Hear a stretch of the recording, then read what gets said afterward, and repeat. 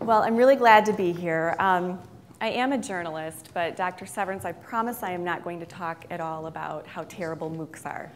Um, that will not enter at all. So the other morning, I was getting ready for work um, with my seven-year-old son sitting at my feet, telling me all about the latest house he had built in Minecraft. Um, this typical morning routine was interrupted by a text that I got from a local editor telling me about a problem with a comment on the site. Someone was posting harmful insinuations about one of our principals uh, in the community, and um, she wanted me to take care of it. So I quickly navigated to the problem story, and um, as I became distracted, my son got upset with me. And uh, I had to, you know, apologize to him and explain that this is something I have to deal with right now. You know, I tried to explain it in, situa- in terms he would understand. Someone's being bullied on the website, and I have to deal with it. Um, he understood then and watched with a very serious expression as I got in there and, and blocked that comment. Now, as you may know, this is not exactly an unusual situation for online communities. How many of us have seen something uncivil online before, right? Yeah. Um, people are sometimes less civil online than they are in real life, and um, many believe that anonymity is the problem. If only people had to put their names to their opinions instead of hiding behind their keyboard, online discussions would be civil, they say. Well, I disagree that the problem and the solution is that simple. Um, I've seen where it's being tried, and frankly, these, this real names thing isn't working. Also, there's a lot of good that comes with anonymous commentary, as long as it's contained within a well-managed community. Now, I went in and removed this, this principal comment, but I also emailed the commenter and said, you know, if you have this, any information to share, please share it with us. And so they did, and as it turns out, there, there are some problems um, at this school, and it may turn out that this comment was the tip we needed to uncover an important local story. Now, online communities have been around since the 70s, starting with bulletin boards and list servers, and evolving to chat rooms in the 80s. I'm going to be like this politi that politician and get a quick drink here. Uh, evolving to chat rooms in the 80s and sharing platforms like Napster in the 90s. In the early 2000s, forums came online, and then followed by blog and news comments. But all along, anonymity was the norm. However, with the explosion of social media in the past five years, many people, yourselves included, I'm sure, have become comfortable getting, um, using their real life identities in limited ways online. And I think that's causing a backlash against anonymous commentary. So millions of people are on Facebook using their real names, and they see no reason why people who comment on, anonymous, uh, on news sites can't um, use their real names too. But the thing is, there's a big difference between posting cute cat photos on Facebook using your real name and commenting about a serious problem at your child's school, for example, using your real name. Um, the kind of comment that this person wrote anonymously, being the new kid in school, our son was faced with bullying. Now, in my position, I often hear people pine for the old days of letters to the editor, when everyone had to put their names to their opinions. But an interesting historical point is that up until the 1960s, anonymous letters were common. A 2005 research paper in the Journal of Mass Media Ethics determined that editors began requiring real names for a couple of reasons. First, many had strong personal biases against anonymous writers, some calling them crackpots with selfish personal agendas. I'm sure many of us today would even agree with that sentiment. But second, from a more practical standpoint, requiring real names was an easy way to limit the number for publication. However, it can be argued that these real names policies violate a basic tenet of journalism, which is to give voice to the voiceless. Now, on the news side, we, as reporters, we often use anonymous sources. Of course, we're careful to vet the information first. But editors have been unwilling to extend this practice to letters. And it is the voiceless who are most hurt by these policies. A 2004 national survey done at the Scripps School of Journalism found that 35% of people who had never before written a letter to the editor would be willing to do so if their name wouldn't be used. And among those people, women, minorities, and urban residents, in other words, the poor, figured prominently.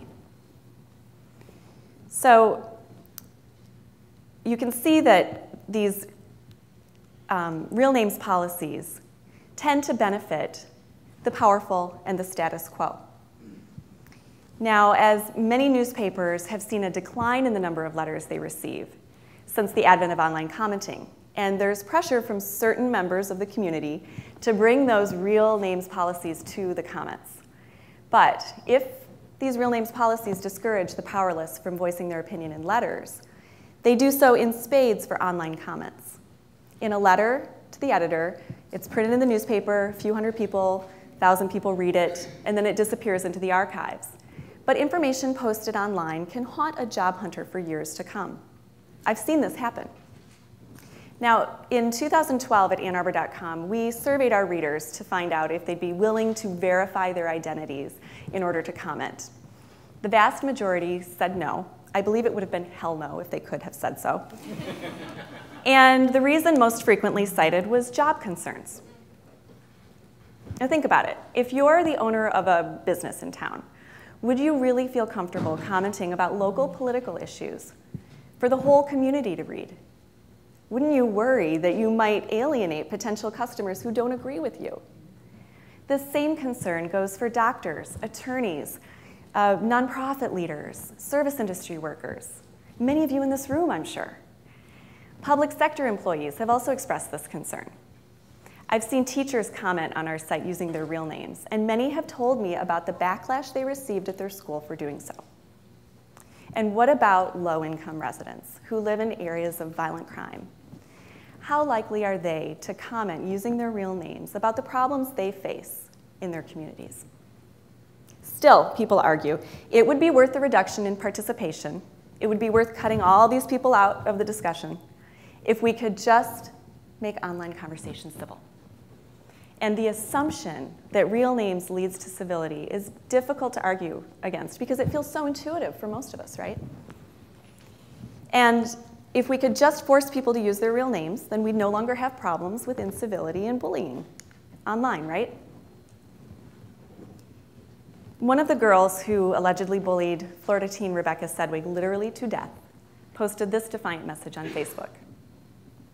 But she's a kid, right? And kids don't know any better, adults know better, right?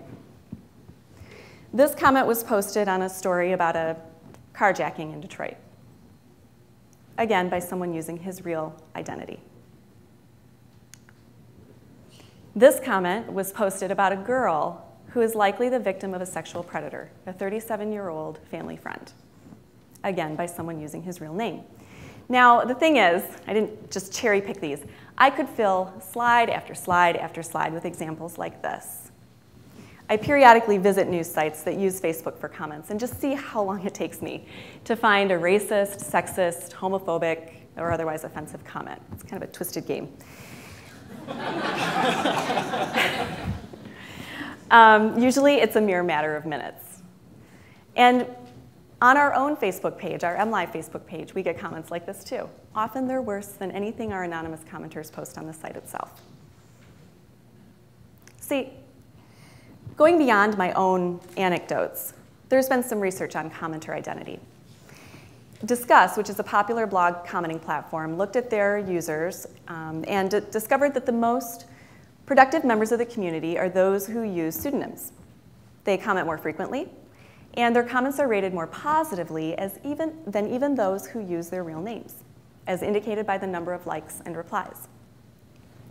Now, this research makes some interest, an interesting point I want to stress, and that is usually when we're talking about anonymous comments, we're actually talking about pseudonymous comments. Because on most sites, um, like live, a user has to create an account, tie it to a real email address, and use that account every time they comment. Over time, they build up a comment history, they have a place in the community, and they tend to take pride in this online persona that they've created. Now, another study done this year at the University of Houston compared comments on sites, news sites that allow anonymous comments to comments on sites that use Facebook for comments. and analyzed the two. On the anonymous sites, which I want to stress, the ones they looked at don't use the community management techniques I'm going to talk about in a bit. But on those sites, 50% of comments were deemed uncivil. On the Facebook sites, 30% were uncivil. Now, granted, that is a good reduction, right? But it's still 30% uncivil. And this is with people using their real names. So you can see from these numbers that anonymity is not actually the problem. The problem is, I believe, the lack of the intimacy of, of interpersonal communication, face to face communication. It's a problem with any written communication, but I believe it's heightened by the ease, the shareability, the megaphone of online postings. We as a society are learning how to adapt to this mode of communication. And merely requiring real names does nothing to teach people how to be civil online. Where I see it being tried, three things happen. The first is that there's a steep reduction in participation because most people don't want to use their real names. The second is that uh, most of the remaining discourse becomes bland because those who will participate using their real names are inhibited from sharing their true thoughts. And the third thing is that, well, you still get the 30% who are jerks, and they just don't care. So when I told my daughter I was giving this talk, defending anonymous commenters, she said, Why would you do that? You hate Spartan Bob.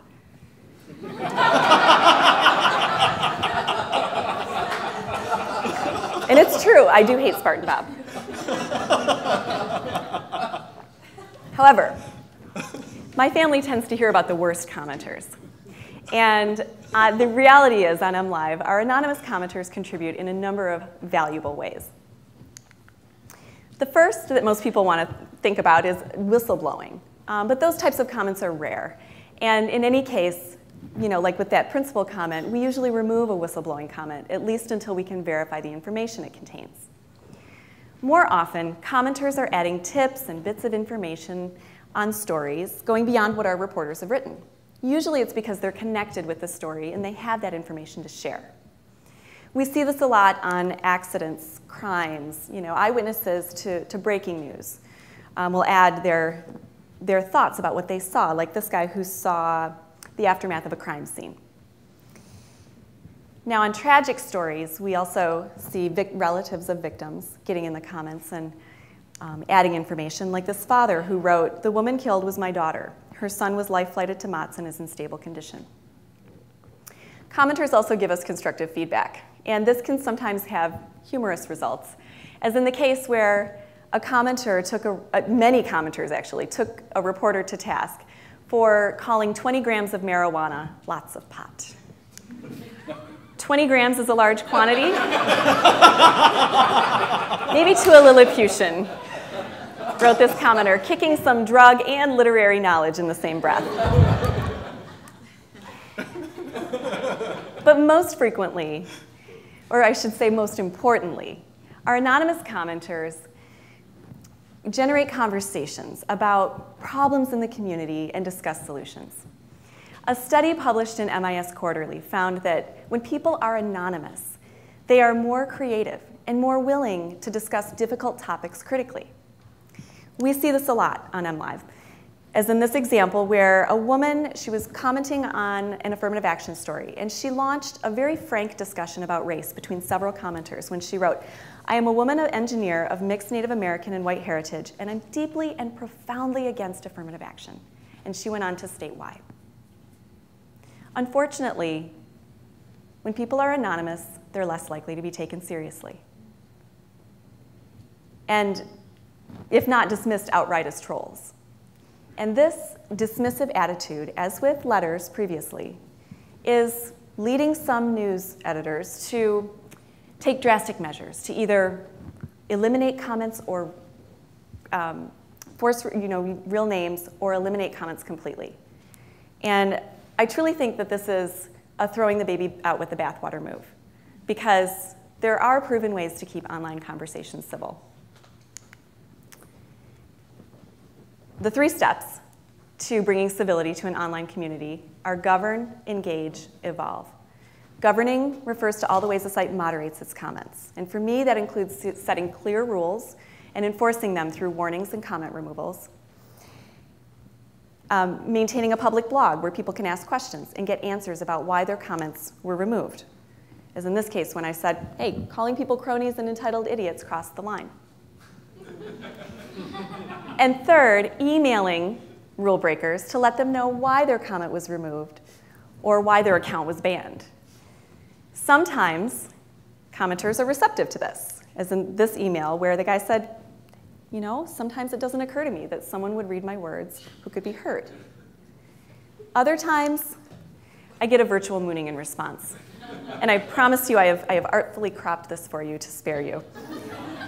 this is the type of commenter who is likely to cry censorship and complain that his First Amendment rights are being violated. To which I respond, you have no First Amendment rights on MLive. I'm sorry. The First Amendment does not apply to the website of a private company. But I also remind them that outside of hate speech, it is possible to say pretty much anything you want to say. And you keep it civil, and it won't be deleted. The second step, engage, refers to reporters participating in the comments with the commenters, answering questions, of course, but also asking their own in order to guide conversations and lead them down a productive path. Like this reporter did when he wrote about a story touching on gay marriage, always a tricky issue. And he asked several questions, several pointed questions of commenters. And the discussion was so civil and on topic that nothing had to be removed. I know this works. Author engagement works to keep conversations civil. And a study by the Engaging News Project this year confirms that. The final step, evolve, means never stop demanding more of your commenters. You got rid of the isms? Great. Now work on name calling and personal attacks. And then tackle drive by comments and low value one liners like, thanks, Obama. And then challenge commenters who push misinformation. I'm also working on a series of columns educating readers how to discuss hot button topics like abortion in a civil way without violating the rules. It's in many ways similar to how I teach my kids to communicate. Like in here where I, you know, it's use a lot of I statements rather than you statements. Here I say talk generally about what your religion teaches rather than tell someone they're going to hell. Now, these are some of the hallmarks of a well-managed community.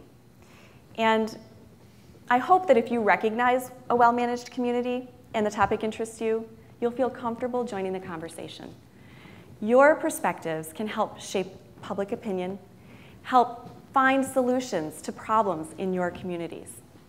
I also hope that you will think a little differently about anonymous commenters, that you'll be more willing to look past the lack of identity and consider a comment on the merits of its content. I truly believe that online comments can be a positive force in the community for, for constructive community dialogue, especially as those who traditionally haven't had a voice are able to voice their opinions. And maybe one day, maybe when my son is old enough to participate, we will have adapted enough to online communication that civility will be the norm, real names or not.